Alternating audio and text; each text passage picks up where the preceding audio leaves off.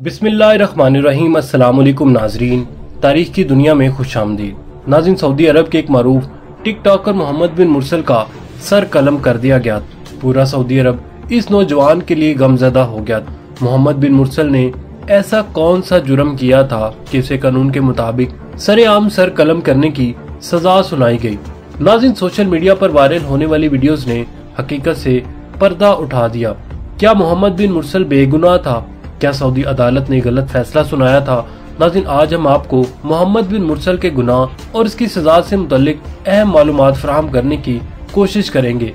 लिहाजा नाजिन, वीडियो की तफसील में जाने से पहले हमारे चैनल को सब्सक्राइब कर लीजिए और बेल आइकन को ज़रूर दबा दीजिए, ताकि हमारी आने वाली नई वीडियोस सबसे पहले आप तक पहुँच सकें। नाजिन, ये बात तो आप सब जानते होंगे कि सऊदी अरब को इस्लामी सजाओं के नफाज के हवाले से पूरी दुनिया में मुनफरद मुकाम हासिल है। इन सख्त सजाओं के तलाक पर, जहाँ मगरबी ममालिक, सऊदी अरब के निज़ाम इंसाफ और इस्लामी सजाओं को जालिमाना अमल करार देते हैं, वही मुस्लिम दुनिया में इन सजाओं को सराहा जाता है और ये समझा जाता है कि इन सजाओं की वजह से सऊदी अरब में जराइम की शरह नहायत कम है। ताम नाजिन इन सख्त सजाओं के बावजूद, अक्सर अवकात सऊदी अरब में हैरान कन वाकत रूनुमा होते रहते हैं। जैसा कि गुजशत दिनों में एक वाक़ पेश आया जिसने पूरे सऊदी अरब को गमजदा करके रख दिया। नाजिन, ये वाक़ एक मामूली तकरार से शुरू हुआ, मगर इस तकरार के नतीजे में एक कज़न ने दूसरे कज़न को कत्ल कर दिया।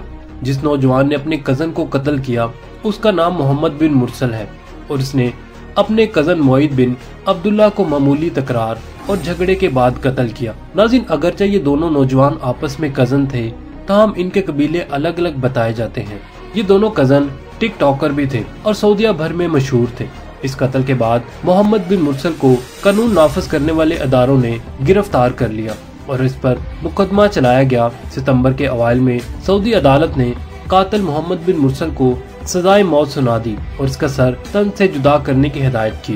नाजिन इसके बाद मोहम्मद बिन मुरसल के कबीले ने मोईद बिन अब्दुल्ला के कबीले को सुलह की पेशकश की और इसके बदले एक भारी रकम जायदाद और बेशुमार चीज़ें देने का वादा किया और कोशिश की कि किसी तरह इसके कबीले नौजवान, यानी मोहम्मद बिन मुरसल की जान बख्श दी जाए और सजा के तौर पर इसका सर कलम ना किया जाए, क्योंकि नाजिन सऊदी अरब में अदलो इंसाफ का निज़ाम इस्लामी कवानीन पर कायम किया गया है, यही वजह है कि वहाँ कत्ल का बदला सिर्फ़ और सिर्फ़ कत्ल ही होता है। कुछ ऐसा ही मोहम्मद बिन मुसल के केस में भी हुआ। नाजिन, अगर हम इस्लामी निज़ाम इंसाफ की बात करें तो कुरान करीम में अल्लाह ताला का इशाद है कि मुसलमानों पर एक दूसरे की जान और माल हराम है। सिर्फ़ मुसलमान ही नहीं, अगर मुसलमान किसी काफिर को भी बेगुनाह कत्ल करे तो सजा के तौर पर उसे कत्ल किया जाए। इसी तरह अगर लड़ाई झगड़े में कोई शख्स किसी के अजा को नुकसान पहुंचाता है तो बदले में इसके अजा को भी उतना ही नुकसान पहुँचाया जाएगा। जिसकी तफसील अल्लाह ताला ने कुरान पाक में इस तरह अरशाद फरमाई कि आँख के बदले आँख, कान के बदले कान, नाक के बदले नाक और जान के बदले जान। नाजिन एक और मकाम पर इरशाद रबानी है कि, ए ईमान वालों, अकल रखने वालों के लिए इसमें निशानी है कि कसास, यानी बदले के निज़ाम में असल ज़िंदगी है। अगर हम इस हुक्म की मसलियत पर गौर करें और इसके पीछे पोशीदा दनाई को देखें तो हमें समझ आता है कि एक सख्त सजा माशरे के बाकी बिगड़े हुए नाफरमान अफराद को सीधी राह पर रखने का काम करती है और सख्त सजाओं का खौफ उन्हें ऐसे जुर्म के इरतगाब से बाज रखता है। नाजिन यही वजह है कि मोहम्मद बिन मुरसल से सरजद होने वाले गुनाह ने इसका सर कलम करवा दिया। नाजिन मोहम्मद बिन मुरसल के कबीले ने मोहिद अब्दुल्ला के कबीले को और इनके माँ बाप को अपनी सारी जायदाद और रकम और इनके खानदानी विरसे की तमाम चीज़ें और नादर चीज़ें पेश की।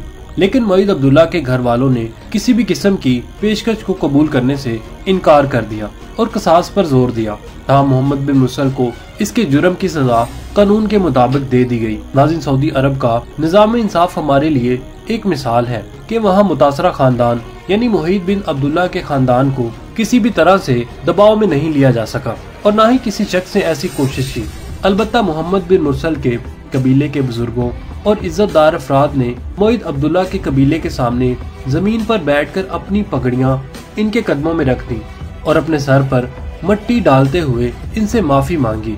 उन्हें भारी रकम और वदियत की पेशकश भी की और कातिल यानी मोहम्मद बिन मुरसल की माँ ने अपने सगे बेटे को फांसी पर भेजने से पहले गले लगाकर जारो कतार रोते हुए प्यार किया और इन मनाजर ने सऊदी अरब समेत दीगर ममालिक के अफराद को भी रंजीदा कर दिया। नाजिन अरब ममालिक से ये आवाज़ बुलंद होने लगी कि इस कातल को माफ़ कर देना चाहिए।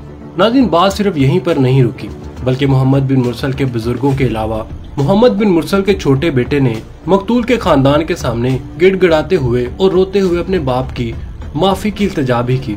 लेकिन मोहम्मद बिन मुरसल के घर वालों ने ये नहीं सोचा कि इनके बेटे ने जिस शख्स को कत्ल किया, उनके घर वाले भी इसी कर्ब और दुख से गुजर रहे होंगे। लेकिन जिस दुख और कर्ब से वो अब गुजरने वाले हैं, इसी वजह से मोहित बिन अब्दुल्ला के घर वालों ने तमाम पेशकशों और माफ़ी नामों को रद्द करते हुए कसास पर ज़ोर दिया। नाजिन बिल आखिर 20 सितंबर को मोहम्मद बिन मुरसल का सर कलम कर दिया गया। नाजिन सऊदी अरब के इसी निज़ाम इंसाफ का कमाल है कि वो इस्लामी निज़ाम की पैरवी करते हैं, जिसकी वजह से सऊदी अरब में ऐसे घनौने जराइम की शरह नहायत ही कम है।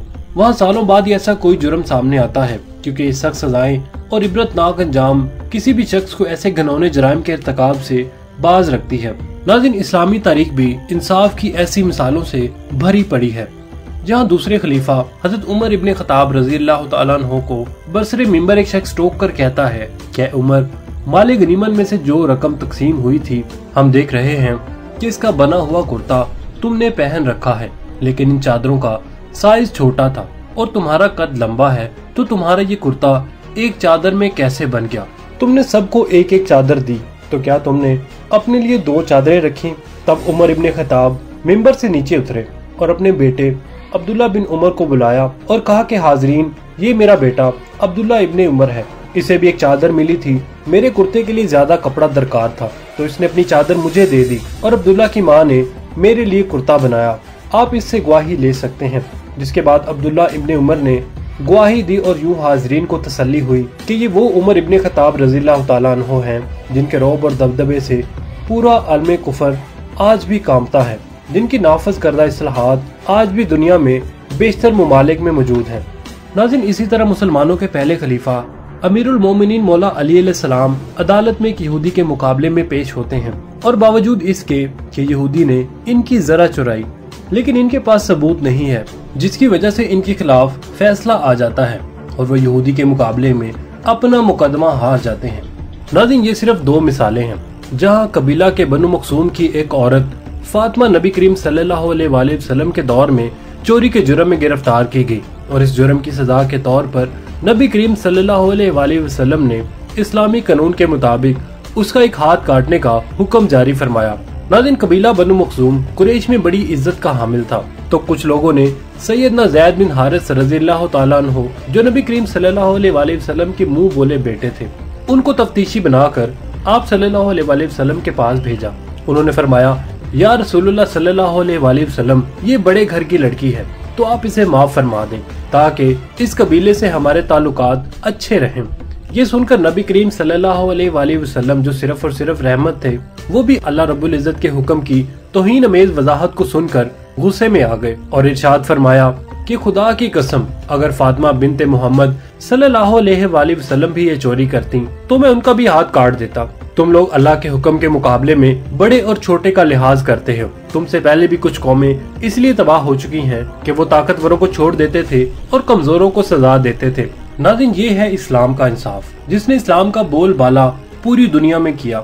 ये बात समझने की ज़रूरत है कि इस्लामी सजाएँ अपनी नोयत की सख्त तरीन सजाएँ ज़रूर हैं, लेकिन इनका मकसद सिर्फ़ और सिर्फ़ माशरे को दोबारा ऐसे किसी जुर्म के इरतकाब से रोकना है। आखिर में हसब रवायत अल्लाह से दुआ है कि अल्लाह ताला हमारे प्यारे मुल्क पाकिस्तान में भी इस्लामी नफाज नाफज करने वाला हुक्मरान अता फरमाए, ताकि पाकिस्तानी माशरा भी अमन का गहवारा बन सके। आमीन सुमामीन नाजिन हम उम्मीद करते हैं आपको हमारी आज की वीडियो पसंद आई होगी। अगर पसंद आई तो इसे लाइक और शेयर करने के साथ साथ कमेंट सेक्शन में अपने ख्याल का इजहार करना मत भूलिएगा। इसके साथ ही हमें इजाज़त दीजिए। अल्लाह निगेबान।